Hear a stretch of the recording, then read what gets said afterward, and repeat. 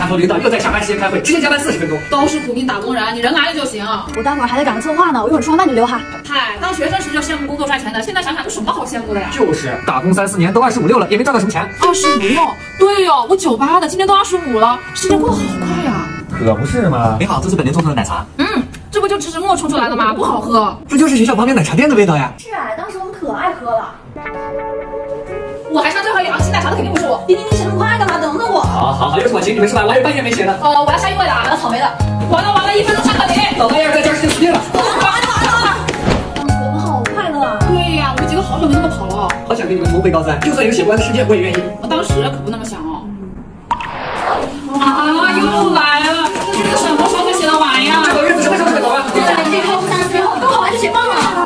天啊！过训了，现在是你们最好的年龄，等你们以后长大就知道了。怎么可能？累死我们！老师站着说话不腰他今晚给你们放个电影，轻松一下。